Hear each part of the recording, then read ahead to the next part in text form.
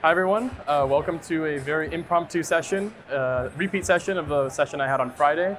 This is speedrunning the cloud with the Azure SDK and the developer CLI. So in terms of what we'll cover in the session, we'll first have an introduction. We'll talk about some of the benefits of using the Azure SDK for Python specifically. Uh, I'll go over the basics of how to use the SDK.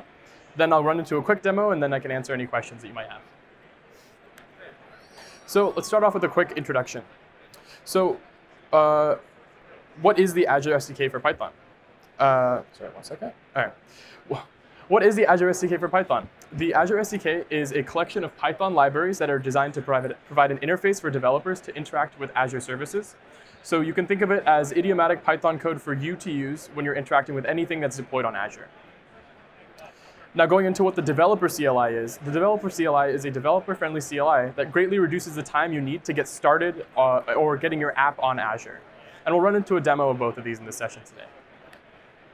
So before we start, just a quick shout out to the Azure SDK for Python repo. We are open source.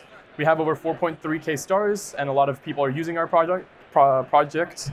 And we have over 180 libraries. So that's plenty of libraries you can use for your services on Azure as well. So if you want to take a look, uh, we are on GitHub. So before we get started into jumping exactly into the code, we have two concepts when it comes to the Azure SDK for Python. We first have our management plane or management libraries, and these are for creating, configuring, and otherwise managing your Azure resources. So think about maybe spinning up an, a, a, a, database or a storage account, something like that. You'd use a management library for that. And you can tell you're using a management plane library because in our PyPI packages, they're prefixed by MGMT in the package name. Next, we have our client or data plane libraries, and these are uh, for you to interact with already provisioned Azure resources. So if you have a storage account that's already spun up, you can spin that up using a management plane library, and then you can interact with it using a data plane storage library if you want to say upload a blob or download something, things like that. So now that we know the basics of what the SDKs are, we can talk about some of the benefits and why you might be interested in using the Azure SDK for Python. So first, it's fast. So it greatly reduces the time for you to write Azure-specific code, and that's kind of the goal of the SDK itself. We don't want you to spend a lot of time figuring out what the cloud is, how to interact with the service, what it looks like. We want to give you a library that you can use in Python to just start interacting with Azure services from the get-go. As a result, this reduces the time you need to onboard it to the capabilities of an Azure service, which is really nice. And it reduces the need for you to write and maintain best practices for that code. The SDK follows all of those best practices out of the box. In addition, the operations you have are optimized for performance, so you don't have to worry about any of that. And then there's a robust exception system in the libraries themselves, which help you get more detail and debug your code with the cloud uh, quicker. So in terms of more nice things to have outside of the box, you get built-in open telemetry support for your tracing applications. There's a consistent design for the libraries, cross-service and cross-language, so it doesn't matter what the REST API underneath looks like. Uh, as long as you understand one SDK, in theory, you understand all of them, and the same process applies. Uh, the libraries keep up to date with new service functionality, so uh, if you want to stay up to date with the latest changes for a service in Azure, the libraries are there to reflect those changes, so you can get started as fast as possible. Uh, and like I said, you have a lot of things built out of the box, like consistent retries, exceptions, HTTP uh, client management, all of these things that can get a, a, little bit frustrating when you're calling APIs directly. The libraries handle them all, all out of the box. In addition, we have the Azure Identity Libraries, which are great for handling authentication, which again is another big pain point, which will allow you to focus more on the code that matters and not just how it works on the cloud. Some extras and fun facts about the Azure SDK for Python. So we are built by Python developers for Python developers, um, very involved community members all throughout our team. Uh, the data models in our library allow for IntelliSense in your IDE, and I'll show that in a little bit, which is great. It allows you to understand the libraries and services a lot faster and also get debug, start debugging a lot faster as well. Uh, a fun fact is we wrote our own AMQP messaging protocol in Python for our libraries. Um, we ha also have async operation support in the SDK itself. And members from the Azure SDK team, such as myself or a couple of our engineers here, have attended PyCon since 2014. So we've been around, and uh, we're excited to chat with you here today. So uh, some basic steps to using the SDK. So if you want to get started with a management library, use four major steps. The first step is to ensure you have the permissions to create and manage resources in Azure. Once you have those permissions, you want to verify your identity to make sure you are the person with those permissions, and you use the Azure Identity Library for that. Then you create a client object to interact with, the, with Azure itself, and then you can do something. And for data plane, it looks a lot similar. So instead of having the permission to create resources and manage resources in Azure, you want to make sure you have the permission to operate on those already created resources. So for example, you want to be a data writer, data reader, uh, maybe an owner if you have a little bit more administration, uh, so on. Once you have those permissions, again, authenticate with Azure Identity, you create your client cl object, and now you can do something. You don't have to worry about anything else, and this is all in Python. So in terms of uh, ensuring you have the right permissions, you can add yourself uh, via access control RBAC in the Azure portal. There's also the CLI, uh, which you can use to add, yourself, uh, add your permissions. Once you have that, then you can authenticate with the Azure Identity Library. Uh, most of our code samples will talk about the default Azure credential. This essentially is a bunch of uh, different credentials that gets tried in a row, and it kind of keeps going until it works. So for local development and getting started quickly, it's great because it'll try out a bunch of them and just take the one that automatically is, is there. So for example, in our demos, we have the seventh one down here, which is the Azure Developer CLI. So once you've logged in with at least one of them, it'll pick that and that's your auth. Once you have that, depending on what your service looks like, you'll create a, a, client object. Some services like storage have multiple clients, and that's really more reflective of the service itself and the operations you want to do on it. So for example, if you have a storage account, then you want to have a blob service client. If you want to have a container or a bucket, if you're familiar with other cloud terminologies, you can use a container client. And then for individual files or blobs, then you can have a blob client. And all of these objects have, or all of these classes have nice functionalities built in with them. So then you really have focused code for what you're actually writing.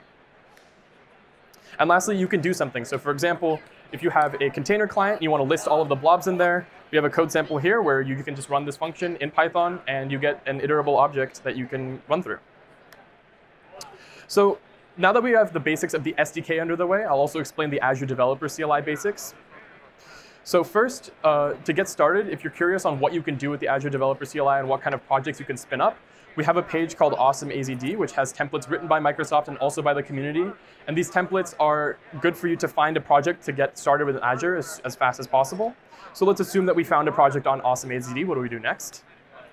First, we want to run AZD uh, init, so that will initiate the, or that will get all the code on your machine for the demo, uh, for the uh, template that you want to run. So in this screenshot, I did our uh, popular Azure Search OpenAI demo, which you can see at the booth to the right of me here. Um, but once you have that on your machine, then you do AZD auth login, and that ensures that you are, uh, your identity is confirmed. And once you have that, then the, the next step is to put it on the cloud, which is very easy, you'll see. You just run azd up. And this command will ask you the specifics for deployment, so you can get your Azure locations, such as um, you know, US East 2 or something like that.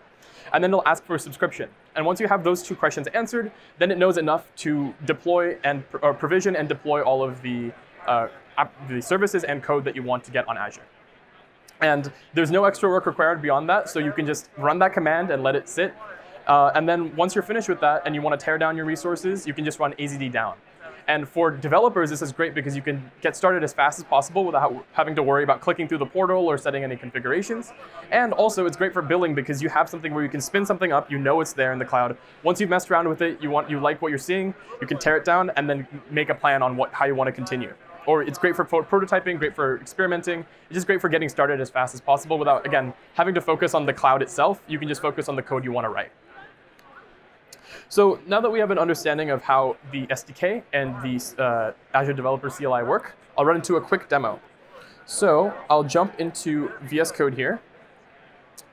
And I have two examples of our uh, Azure SDK. First, using the storage blob service, and then Cosmos DB.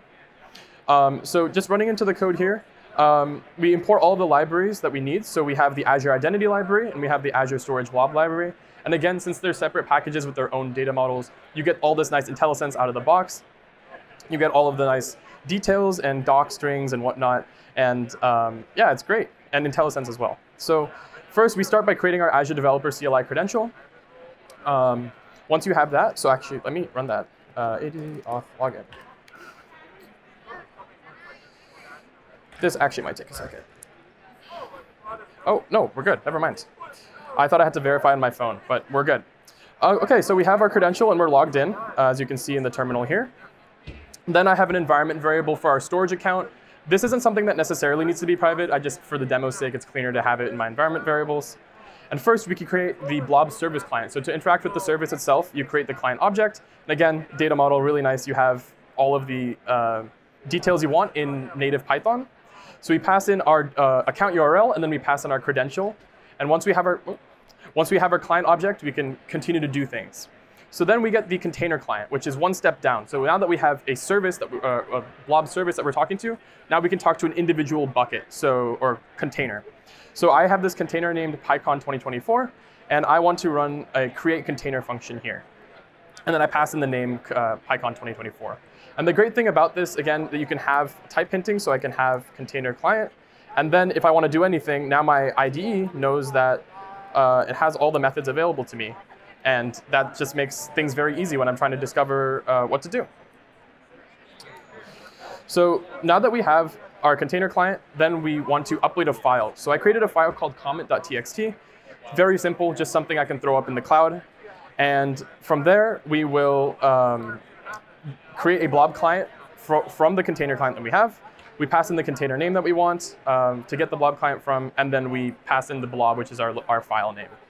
And then the code will upload, and then just to test the uh, download functionality as well, uh, I have a, a, code here to download it immediately after we upload it, and then just append uh, download.txt to it. So then if I run this code, we should log into, or we should um, get everything uploaded to the cloud with this file and then download it immediately.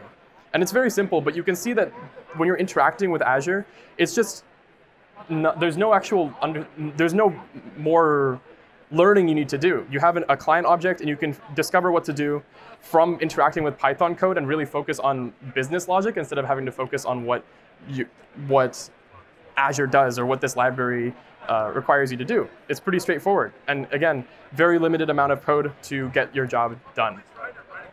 I have an example here for Cosmos as well, which is going to look very similar. Again, our libraries are designed consistently, so there shouldn't be too much cross-learning besides the service itself, like what the service can do. So we import the Cosmos client from our Cosmos library, and here you can also use uh, Key Vault for secrets management. So we have a secrets client here, and then we have our Azure Identity Library for our authentication. It's going to look very similar to the last one. So we have our credential, we get from our environment variables, we get the Key Vault URL, and from there we create a new Key Vault secret client, and this will be used to handle all of our secrets for our Cosmos database.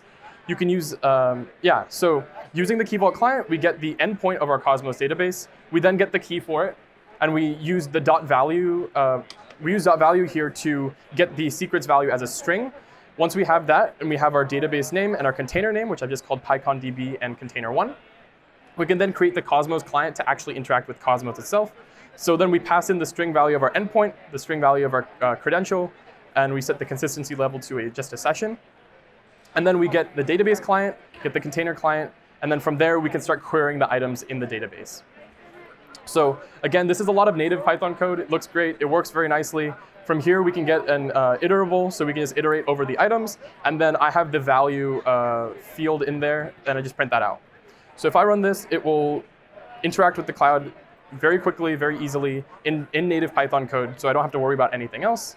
And there we go. So you can see I, I also the query ordered by uh, times, uh, timestamp uh, ascending. So you can see the order of the items that I created. So I created hello there from PyCon US 2024 as my items in my database. Obviously, these are very, very simple examples, but you can see that it doesn't take a whole lot to get started. And this is, again, native Python code, which is open source, and we try to make it as enjoyable as possible for Python developers to work with Azure and also not have to focus on the, the, the nitty gritty details and just focus on what helps their project or their business as much as possible. So now, now that we have a demo of uh, the Azure SDK, I'll jump over to a demo of um, AZD. And actually, before, right before I started this presentation, I started, um, I already uh, did the AZD init and AZD auth, and I just ran AZD provision and AZD deploy. So provision creates the resources in uh, Azure. Deploy actually puts your application on those, uh, on, the, on those resources that you spun up. And if you run AZD up, it actually combines those two commands together. So I ran those separately, but and you can also customize the uh, commands yourself. So for example, uh, going into our azure.yaml file, you can see that the command up actually runs azd provision and then uh, azd deploy dash dash all. So This app that I have here is actually from our awesome AZD templates. It's just a React web app with uh, the, that uses the Python API and Mongo on Azure. So it's a very templates or bare bones template to get started on Azure. And again, the, the goal of the Azure Developer CLI is to let you not worry about any of the underlying resources or having to click through the portal. You can just find a template you want to use, uh, get it on your machine, run azd auth login, and then azd up. And it'll be launched and provisioned as uh, in no time. So I, it, it deployed the service API, so I can go click this link, and then this will be the uh, swagger for the API that got, was uh, defined.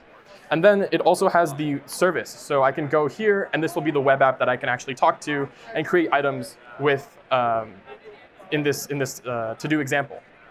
And again, you can find all of the templates that you can work with in the uh, awesome AZD template library. So this was a very basic one. Uh, some of our most popular Python ones, you can select Python here and look through.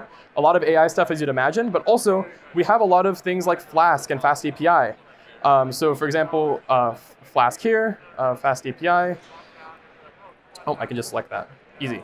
Yeah, so there's lots, lots of templates to look through. And again, this is just a really easy way to get from a template project to the cloud as fast as possible. From there, you can just write the code however you want. Whenever you're ready to actually put it on the cloud, again, AZD auth login, AZD up, it'll be up there following this template really easily. So from here, we can really call this a speed run of the cloud because we get all of our resources provisioned and uh, our application deployed super quickly. And we also have native Python code that can talk to the services if you want to make it a little bit more complex. So thanks for tuning in. And um, just are closing. One second. You can learn more about the Python SDK and AZD at aka.ms slash uh, azsdk slash Python. Uh, for the Azure Developer CLI, that's aka.ms slash azd. You can check us out on GitHub at github.com slash azure slash azure SDK for Python. Uh, we have an account on X, formerly Twitter, at Azure SDK. And then if you have any questions for uh, putting your Python apps on Azure, we do check Stack Overflow. So you can put the tags Azure plus Python. Uh, that's it. Thank you so much.